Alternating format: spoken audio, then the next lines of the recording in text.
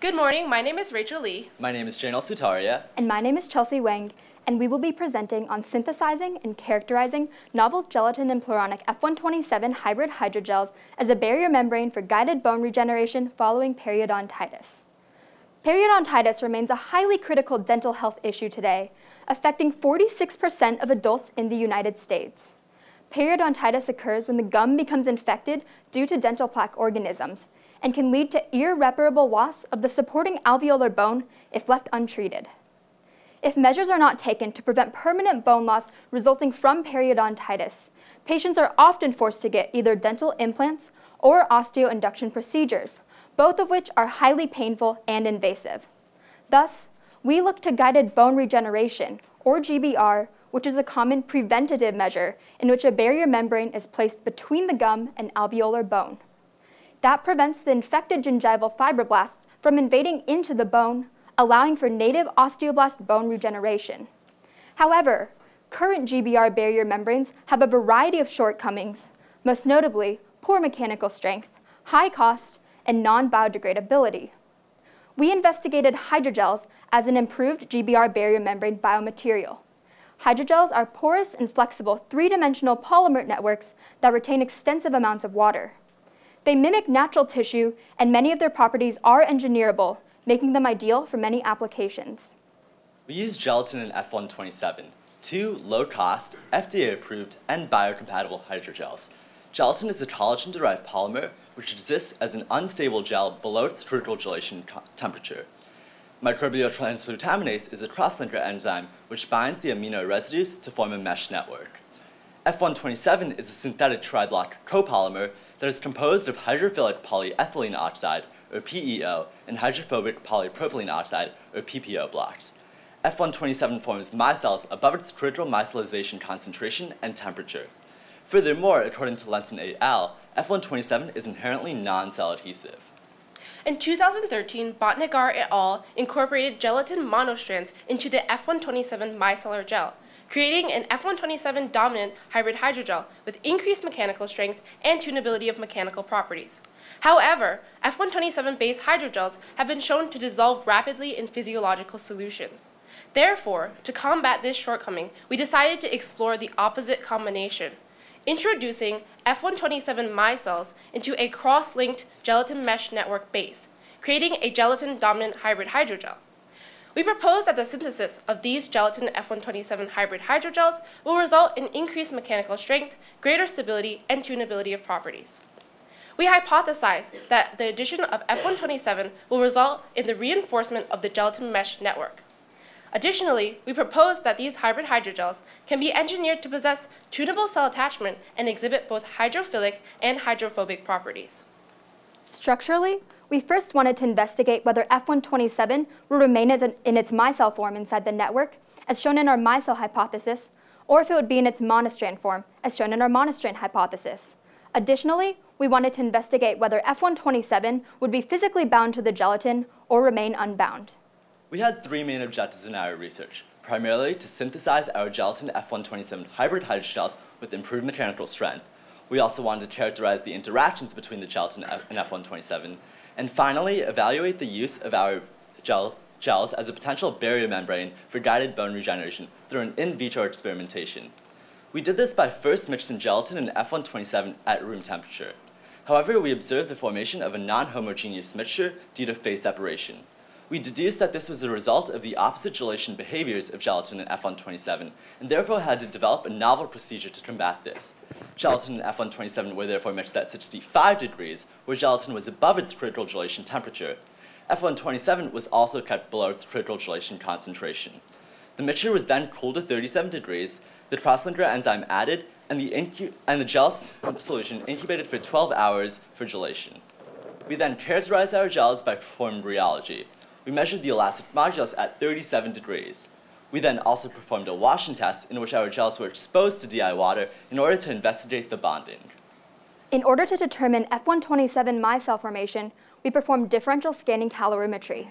Next, in order to analyze gelatin and F127 bond type, we performed Fourier transform infrared spectroscopy.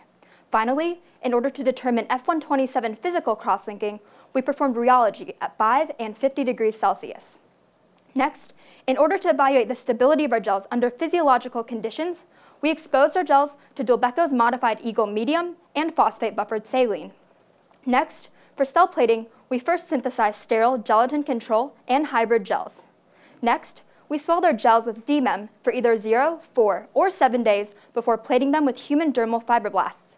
We cultured, the, we cultured the cells for 4 days, then performed confocal microscopy.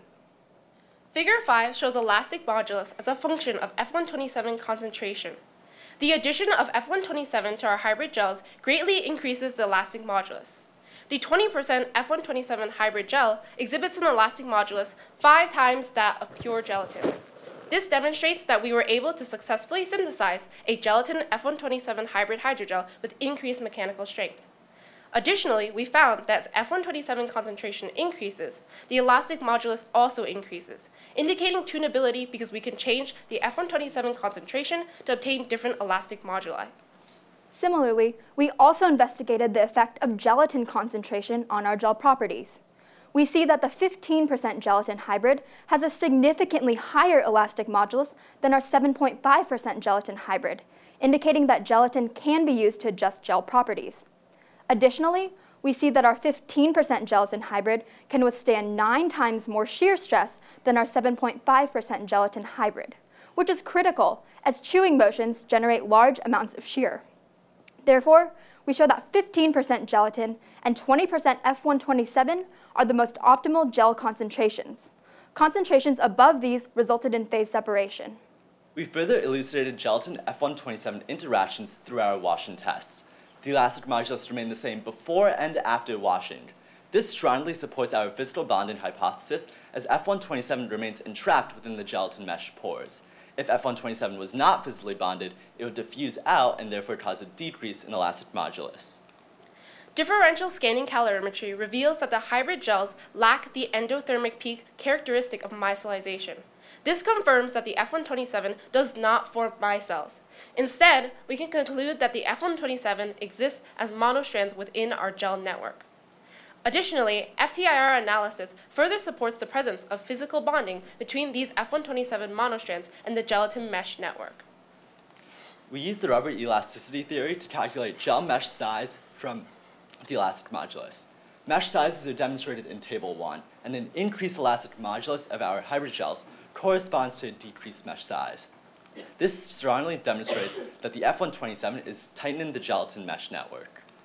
Previous literature has established that at 50 degrees Celsius, the F127 forms physical crosslinks due to the entanglement of the hydrophobic PPO blocks.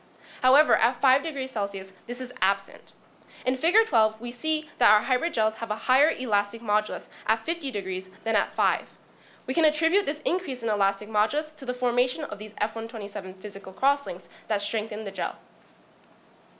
From the data we collected, we were able to develop the following model of gelatin F127 structural interactions. First, we propose a packing effect, in which the F127 monostrands fill the gelatin mesh pores to allow the gel network to resist deformation. Second, our data supports the presence of physical bonding. Represented in region 1, the hydrophilic F127 PEO blocks bind to the gelatin to reinforce the, reinforce the mesh network. In region 2, the hydrophobic F127 PPO blocks entangle to form physical crosslinks that also strengthen the gel. Finally, due to the presence of an interpenetrating F127 subnetwork within our gelatin mesh pores, we see the formation of both hydrophilic and hydrophobic regions. In figure 14, we can see that our gels exposed to PBS and DMEM have the same elastic modulus as our gels exposed to DI water indicating the stability of our gels under physiological conditions. Additionally, we see that the pink media has diffused through our hybrid gel, indicating that our gels are able to facilitate nutrient diffusion. Our top row of cell images show our hybrid gels, while the bottom row shows gelatin control gels after 0, 4, and 7 days of swelling. We see significantly reduced cell numbers on our hybrid gels, with cell numbers decreasing nearly 50% after 7 days of swelling, satisfying our criteria for a viable GBR barrier membrane. Additionally, we see cell numbers decrease from 0 to 7 days of swelling, indicating that swelling time may be used as a factor to control the degree of cell attachment. We believe that these regions of no cell attachment are due to the non-cell adherent PEO that adsorbs to the gelatin mesh network during the swelling period. A 3D reconstruction of our confocal microscopy data demonstrates that our gels are impermeable to cells. This further demonstrates viability as a potential GBR barrier membrane. We successfully synthesized and characterized gelatin F127 hybrid hydrogels that overcome many limitations of current GBR barrier membrane materials. Our hybrid hydrogels display an increased mechanical strength five times that of pure gelatin. Additionally, they display porosity to bioactive materials, cell impermeability, and reduced cell attachment, criteria that ca characterize viable GBR barrier membranes. Finally, our data supports our proposed model of an interpenetrating F127 subnetwork within our gelatin mesh pores. The use of our gelatin F127 hybrid hydrogels as a barrier membrane to treat periodontitis is just the starting point. With our understanding of the polymer interactions occurring within our gel, we can further optimize our gel and pave the way for an abundance of future medical applications. In the future, we would like to perform additional characterization tests, such as cryo-SEM and small angle X-ray scattering, in order to further investigate bonding interactions and confirm our gel structure.